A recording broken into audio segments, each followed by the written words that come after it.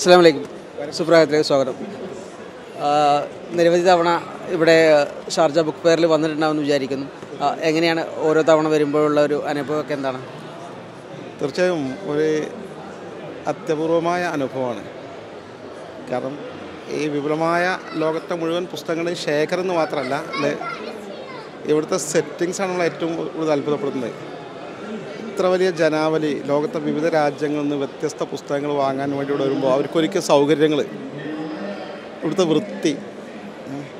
ഇപ്പോൾ നമ്മൾ ടോയ്ലറ്റ് നിസ്കരിക്കാനുള്ള സൗകര്യങ്ങൾ അത് സ്ത്രീകൾക്ക് പുരുഷന്മാർക്ക് പിന്നുള്ള ഈ പ്രവിശാലമായ സൗകര്യങ്ങൾ സംവിധാനങ്ങൾ. എന്തായാലും ഈ ഗവൺമെന്റിനെ അഭിനന്ദിക്കാതിരിക്കുന്ന നിർവാഹമല്ല. ഈ ഒരു കാലത്ത് വായനയൊക്കെ വളരെ കുറഞ്ഞു വരുന്നൊരു കാലം എന്നാണല്ലോ പൊതുവെ എല്ലാവരും പറയാറുള്ളത്. ഈ ഒരു സമയത്ത് ഈ വായനയെ പ്രോത്സാഹിപ്പിക്കൽ അതിനൊക്കെ വേണ്ടിയിട്ട് എന്ത് നിലപാടാണ് സുപ്രഭാതത്തിന്റെ ഭാഗത്തുനിന്നാലും ബാക്കിയൊക്കെ നടക്കേണ്ടത് ശരിക്കും? എന്തായാലും അടിസ്ഥാനപരമായി വായനയാണല്ലോ വിജ്ഞാനത്തിന്റെ പ്രധാന സ്രോതസ് ഇപ്പോൾ നമ്മൾ സോഷ്യൽ മീഡിയയിലും വായിക്കുകയാണ്. ഈ കേൾക്കുന്നത് നമ്മൾക്കൊരു പരിമിതി ഉണ്ട് കാരണം കേട്ട് അതിന്റെ തെളിവ് അങ്ങനെ നഷ്ടപ്പെട്ടു പോകും. നേരത്തെ രേഖപ്പെടുത്തി വെച്ച കാര്യങ്ങൾ പിന്നീട് നമുക്ക് തെളിവിനാണെങ്കിലും ആശ്രയിക്കാൻ പറ്റും. മറ്റേ വീഡിയോ ഒരു ക്ലിപ്പ് എടുക്കുക എന്ന് പറഞ്ഞാൽ അതും സ്ഥായിയായി നിലയ്ക്കാൽ ഒരു ഹാജരാക്കാൻ മറ്റൊടുത്ത് കൊണ്ട് പറ്റുന്ന അത്ര രീതിയിലല്ലല്ലോ. സുസാധ്യമായ മാർഗം എഴുത്താണ്. അതുകൊണ്ടാണ് ഇസ്ലാം ഏറ്റവും നല്ല പ്രബോധന മാധ്യമമായി തിരഞ്ഞെടുത്തത് എഴുത്താണ്. കാരണം അള്ളാഹു മനുഷ്യരെ ദഴവത്ത് നടത്താൻ വേണ്ടി അടിസ്ഥാനമായി ഇറക്കിയ നാല് ഗ്രന്ഥങ്ങളും ഗ്രന്ഥങ്ങളാണ്. തൗറാത്ത് ഇഞ്ചിൽ സബൂർ ഖുർആൻ. അത് എഴുത്താണ്. അതുപോലെ അള്ളാഹു ലഘു കൃതികൾ ഇറക്കിയിടുന്ന ഒരെണ്ണം വിവിധ പ്രകാര പ്രവാചകന്മാർക്ക്. അതും കൃതികളാണ് രേഖകളാണ്. അപ്പോൾ അള്ളാഹു സ്വാഭാവികത്തിനൊക്കെ ഏറ്റവും നല്ല സംവിധാനമായിരിക്കുമല്ലോ പ്രബോധനത്തിന്. അപ്പോൾ ഏത് കാലഘട്ടത്തിലും അടിസ്ഥാനം വായന തന്നെയാണ്. അപ്പോൾ പുസ്തകങ്ങൾ അതിന്റെ പ്രിന്റഡ് രൂപമേ ഉള്ളൂ. സോഷ്യൽ മീഡിയയിലായാലും നമ്മൾ വായിക്കാനുള്ള യഥാർത്ഥത്തിൽ അറിവ് നേടാൻ ആശ്രയിക്കുന്ന സ്രോതസ്സ്. അപ്പോൾ വായന ഏത് രൂപത്തിലായാലും വായന നിലനിന്നാൽ മതി എന്നുള്ളതാണ്. അത് പുസ്തകത്തിലായാലും സോഷ്യൽ മീഡിയ ആയാലും വായന നിലനിൽക്കുക എന്നുള്ളതാണ്. തീർച്ചയായും തീർച്ചയായും. സോഷ്യൽ മീഡിയയിൽ നമുക്ക് ആവശ്യത്തിന് പ്രിന്റ് കിട്ടുമല്ലോ. ഈ പുസ്തകത്തിന്റെ ഒരു പതിപ്പനെയല്ല അവിടെ കിട്ടുന്നത്. തീർച്ചയായും. അതിലേക്ക് സഹായകമായി ഭദ്രമായി സേഫായി സൂക്ഷിക്കാൻ നമ്മൾ പുസ്തകങ്ങളെ ആശ്രയിക്കുന്നു എന്നുള്ളതാണ്. പിന്നെ മറ്റൊന്ന് സോഷ്യൽ മീഡിയയിൽ തെറ്റുപറ്റാൻ സാധ്യത വളരെ കൂടുതലുണ്ട്. കാരണം അതിൽ ഫേക്കായിട്ട് എന്തെങ്കിലും കൂട്ടിച്ചേർത്തതോ അല്ലെങ്കിൽ ഒറിജിനൽ കോപ്പി അല്ലാതെ അങ്ങനെയൊക്കെ സാധിക്കും. അപ്പോൾ ഇതിന്റെ ഒറിജിനൽ പ്രസിദ്ധീകരിച്ച കോപ്പി പ്രിന്റ് നമുക്ക് ഇവിടുന്ന് യഥാർത്ഥത്തിൽ വാങ്ങി കിട്ടുമ്പോൾ നമുക്ക് കൃത്യമായൊരു തെളിവായിട്ട് ഒന്നുകൂടി ആശ ഒരു മെയിൻ ആധാരമായി കണക്കാക്കാൻ കൂടി പറ്റും. മതപരമായ ഗ്രന്ഥങ്ങൾ സ്ഥിരമായിട്ട് വായിക്കുന്നുണ്ടെന്ന് മനസ്സിലാക്കാം. അതിനപ്പുറത്തേക്ക് ഈ ഭൗതികപരമായിട്ടുള്ള അല്ലെങ്കിൽ മറ്റ് വായനയൊക്കെ എങ്ങനെയാണ് പോകുന്നത്? ഇവിടെ ഒരു പ്രശ്നം എന്താ വെച്ചാൽ നേരത്തെ വായിച്ചിരുന്നു. ഇപ്പോൾ സത്യം പറഞ്ഞാൽ ഈ സംഘടന എന്ന് പറഞ്ഞാൽ വായിക്കാനും അറിവ് നേടാനും നമ്മൾ ഖുർആൻ ഓതാനും അങ്ങനെയുള്ള പുണ്യകർമ്മങ്ങൾ ചെയ്യാനും ഒരുപാട് തടസ്സം നിൽക്കുന്നുണ്ട്. കാരണം സംഘടനാ പ്രവർത്തനത്തിന് നമ്മൾ നാട്ടിൽ പരിമിതി എന്താ വെച്ചാൽ ഈ ടെലിഫോൺ അറ്റൻഡ് ചെയ്യുക മീറ്റിങ്ങുകൾക്ക് പോവുക വരിക പരിപാടികൾ പങ്കെടുക്കുമ്പോൾ യാത്രയും കൂടുതൽ പ്ര- പ്രയാസമാകുമ്പോൾ നമുക്ക് വായിക്കാൻ സമയം ഒരുപാട് കുറവ് വരും. അങ്ങനെ ഒരു പരിമിതി ഉണ്ട്. എന്നാൽ പോലും നമ്മളുമായി ബന്ധപ്പെട്ട വിഷയങ്ങളാകുമ്പോൾ വായിക്കല്ല നമുക്ക് അതിനെപ്പറ്റി പഠിക്കാൻ നിർവാഹമല്ലല്ലോ. ഇത്തരം വായനകളൊക്കെ ഈ യാത്രയിൽ പോകുമ്പോഴൊക്കെയാണ് കൂടുതലും പിന്നെയും ബൈക്ക് ട്രെയിനിൽ നിന്ന് മാത്രമേ വായിക്കാൻ കഴിയുള്ളൂ കാറിൽ നിന്ന് വായിക്കാൻ കഴിയില്ല. കാരണം അതിൽ ചില ആളുകൾക്ക് കഴിയും സുഖമായിട്ട് ആ അതങ്ങനെ പ്രശ്നമുണ്ട്.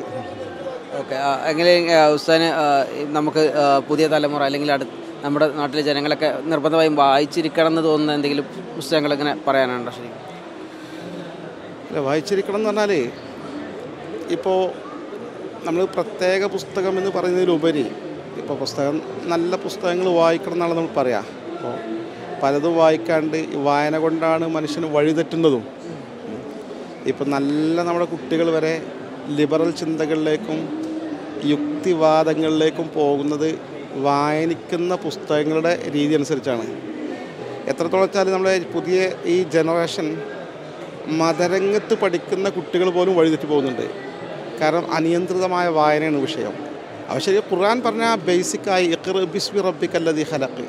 അള്ളാഹുവിന്റെ നാമത്തിൽ വായിക്കുക തന്നെ അപ്പോൾ ആ തരത്തിൽ അള്ളാഹുലേക്ക് അടുപ്പിക്കുന്ന അള്ളാഹുവിനെ കുറിച്ച് ചിന്തിക്കാൻ പര്യാപ്തമായ വായനകൾ. നേരെക്കുറിച്ച് നമ്മളിപ്പോൾ പഠിച്ചു ബേസിക്കായി ഇസ്ലാമിന്റെ നന്നായി പഠിച്ചു എന്നാൽ നമ്മൾ പ്രതിയോഗികളെ നേരിടാൻ ആവശ്യമായ മറ്റുള്ളവരുടെ കൃതികളും അവർക്ക് വായിക്കാം. നിറച്ച് പാകപ്പെടാത്ത ആളുകൾ ഈ തുറന്ന വിശാലമായ വായനകൾ നടത്തുകയാണെങ്കിൽ അവർ പല വഴിക്കും നയിക്കപ്പെട്ടേക്കും. അതാണ് ഇന്ന് കണ്ടുകൊണ്ടിരിക്കുന്ന ഏറ്റവും വലിയ പ്രശ്നം. നേരത്തെ ഒന്ന് രണ്ട് സമയത്ത് അവിടെ പറയുന്നത് വായിക്കുക ഇക്ര എന്നുള്ളത് വായനയെ ഇപ്പം മാത്രമാക്കിയാണ് ഇക്ര ബിസ്മി റബ്ബിക്കൽ ഹലക്ക് എന്നുള്ള മുഴുവനായിട്ട് പറയാതെ ഇക്ര എന്തും വായിക്കുക എന്നുള്ള ഒരു പ്രശ്നം വരുമ്പോഴാണ് ഈ പറയുന്ന പോലെ ഉണ്ടാകുന്നത് അപ്പോൾ അതിനെ അത്തരത്തിലായിട്ട് വളച്ചൊടിക്കപ്പെടുന്നുണ്ടോ ശരിക്കും? തീർച്ചയായും. ഇന്നിപ്പോൾ അങ്ങനെയുള്ള നടക്കുന്നത്. ഇപ്പോൾ പിന്നെ മതസൗഹാർദ്ദം വേണം എന്ന പേരിൽ നമ്മൾ തീർച്ചയായും ഇസ്ലാം ഇതര മതസ്ഥരുമായി സൗഹൃദത്തിലും സഹിഷ്ണുതയിലും കഴിയണം എന്ന കാര്യം ഉറപ്പാണ്. പക്ഷെ അതിനപ്പുറം അവരുടെ സംസ്കാരങ്ങൾ ചിലതൊക്കെ നമുക്ക് സ്വീകരിക്കാം എന്നതിന് പോലും ഖുർആൻ ആയത്തുകൾ വളച്ചൊടുക്കുന്നുണ്ട് അത് തരത്തിലുള്ള രണ്ടും വലിയ പ്രശ്നമില്ല എന്നുള്ള നിലയിൽ. അതൊക്കെ സന്ദർഭത്തിൽ നടത്തിയെടുത്തെന്ന് വെച്ചാൽ വളച്ചൊടിക്കണം അത് പെട്ട് പെട്ടാണ് ഇക്കറ് വായിക്കാൻ എന്തും വായിക്കുക എന്നുള്ള അർത്ഥത്തിൽ വ്യാഖ്യാനിക്കപ്പെടുന്നത്. ശരി ഖുർആൻ എന്ന് പറഞ്ഞാൽ അതിൽ ഓരോ വാക്യങ്ങളും അതിന്റെ യഥാർത്ഥ ആശയങ്ങളും വ്യാഖ്യാനങ്ങളുണ്ട്. അത് മറികടന്ന് നമ്മൾ വ്യാഖ്യാനിച്ചാൽ മൻ ഫസറൽ ഖുർആൻ മക്കാദുമിനാർ ഒരാൾ ഖുർആൻ നമ്മളെ യുക്തിക്കനുസരിച്ച് വ്യാഖ്യാനിക്കുകയാണെങ്കിൽ നരകത്തിൽ അവന്റെ സീറ്റ് റിസർവ് ചെയ്ത് കഴിഞ്ഞ ഹദീസിൽ നബ്സുലാസ്ലം പറഞ്ഞിട്ടുള്ളത്. അത് ശരിക്കും അതിന്റെ യഥാർത്ഥ രീതിയിൽ വ്യാഖ്യാനം ഇക്കറ് വായിക്കുക എന്ന് പറഞ്ഞാൽ ഇന്നത്തെ അർത്ഥത്തിൽ തുറന്ന വായനക്കൂടെ നമ്മുടെ മക്കളെ നമുക്ക് തിരിച്ചു കിട്ടാൻ സാധ്യത പലപ്പോഴും നീ വഴിതെറ്റി പോകും. പിന്നെ ഇസ്ലാം ശരിയല്ലാത്തതുകൊണ്ടല്ല പക്ഷേ ഈ ഇസ്ലാമിന്റെ മാർഗമല്ലാത്ത എല്ലാ മാർഗങ്ങളിലും ഒരു നബിവചനത്തിൽ പറയുന്നത് ഫി കുല്ലി സബീരിമിൻ മിൻ തിൽക്കസുബുൽ ഷെയ്ത്താനും യദുഹിലേ ഈ ഇസ്ലാമേതര മാർഗങ്ങളിലൊക്കെ ആ പ്രവേശന കവാടത്തിൽ അത് ആകർഷകമായി കാണിച്ചു കൊടുക്കുന്ന അതിലേക്ക് ക്ഷണിക്കുന്ന ഓരോ പിശാച്ചിനെ അള്ളാഹു നിയോഗിച്ചിട്ടുണ്ട്. അപ്പോൾ അതൊക്കെ ഭംഗിയായി പെട്ടെന്ന് കാണിച്ചാൽ ആകൃഷ്ടരാകും നമ്മുടെ ആളുകൾ മറിച്ച് ഇസ്ലാം എന്ന് പറഞ്ഞാൽ അള്ളാഹുവിന്റെ മതമാണ്. അതിന് ബോധപൂർവം നമ്മൾ ഇതിന്റെ പഠിച്ച് അവിടെ ഉറച്ചു നിൽക്കണം ചിന്താഗതി വേണം. അപ്പോൾ വഴിതെറ്റിപ്പോകാൻ വളരെ സാധ്യതയുണ്ട്. അപ്പോൾ നമ്മൾ ഈ നല്ല പഠിച്ചു ബോധ്യമില്ലാത്ത ആളുകൾക്ക് തുറന്ന വായനയ്ക്ക് അവസരം സൃഷ്ടിക്കുന്ന ഒരിക്കലും ശരിയല്ല. വായനക്കൊപ്പം എഴുതാനും വായിക്കാൻ തന്നെ സമയം കിട്ടാത്ത ആളോട് പിന്നെ എഴുതാൻ സമയമുണ്ടോ എന്ന് ചോദിക്കുന്നില്ല. പക്ഷേ എഴുത്തിന്റെ ഒരു ഇമ്പോർട്ടൻസ് എങ്ങനെയാണ് ആളുകൾക്ക് പറഞ്ഞു കൊടുക്കേണ്ടത്? എഴുത്തും വായനയും പരസ്പര ബന്ധിതാണല്ലോ. എഴുതിയാലല്ലേ വായിക്കാൻ ഉണ്ടാവുള്ളൂ അപ്പോൾ തീർച്ചയായും പിന്നെ എഴുതണമല്ലോ.